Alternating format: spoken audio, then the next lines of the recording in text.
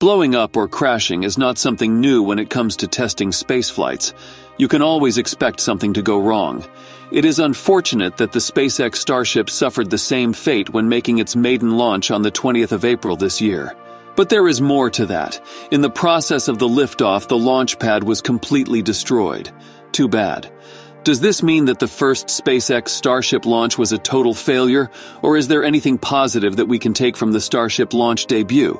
Let us find out. The SpaceX fans had high expectations as they eagerly awaited the launch of the next generation Starship rocket.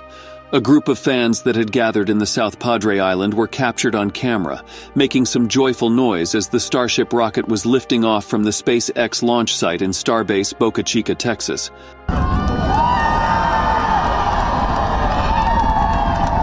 But the joy of the fans was short lived. Just four minutes after launching, the SpaceX Starship exploded.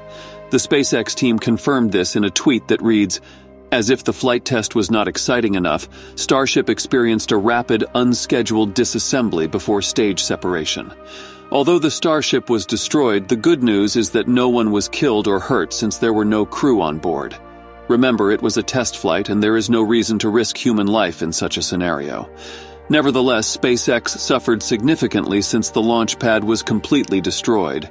SpaceX founder and CEO Musk was deeply worried about the launch as he made a statement saying, I would consider anything that does not result in the destruction of the launch mount itself to be a win. But why is the destruction of the launch pad a big deal? First of all, it is quite expensive to build and maintain a launch pad.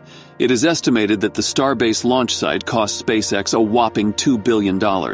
Building a launch facility is damn expensive because you will need to install very sophisticated and highly technological equipment.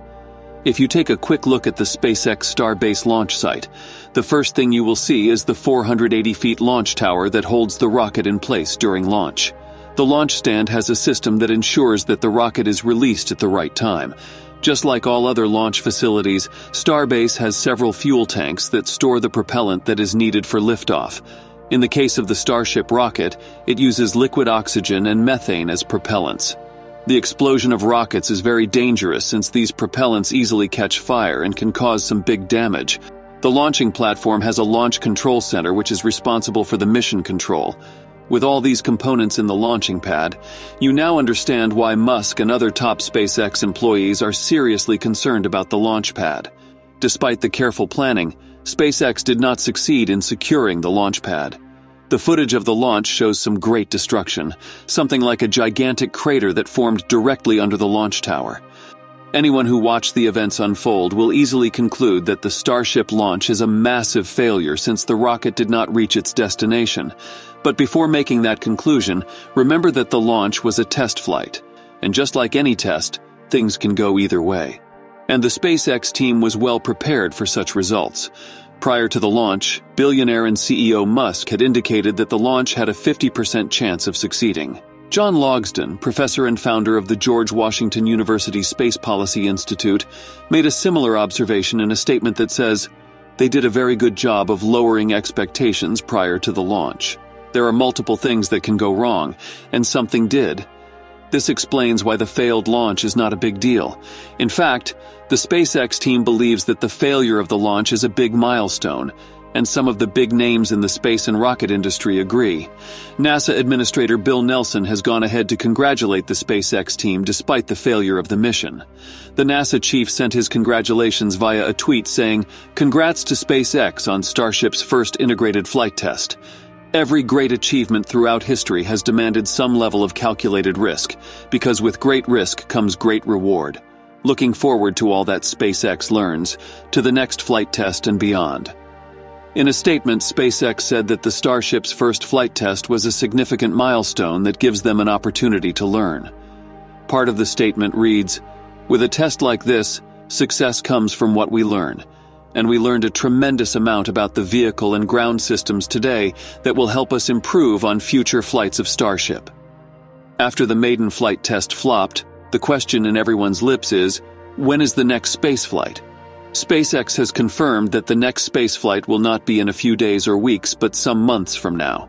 It is taking SpaceX relatively long for the next spaceflight test, since they have to make serious repairs to the launch pad or build a new one altogether. From experience, there is every possibility that the next Starship spaceflight may also not be a success. The SpaceX Falcon 9 rocket experienced three launch failures before it became a great performer. To date, the Falcon 9 has successfully flown 217 times from 2010. It is quite remarkable that 61 of those launches happened in 2022. The Federal Aviation Administration, or FAA, the body that approves rocket launches in America, has confirmed that it will start an investigation into the Starship launch failure and the consequent destruction of the SpaceX launch pad in Brownsville, South Texas. This is a standard practice that is conducted when a rocket fails to meet its objectives. Just as discussed in this video, many news outlets are flooded with news about the failure of the Starship launch. But we need to be a bit optimistic and flip the other side of the coin. What should we have expected if things worked out as planned? It is straightforward. After separation from the Super Heavy booster, the Starship spacecraft would have proceeded for some six minutes into low space.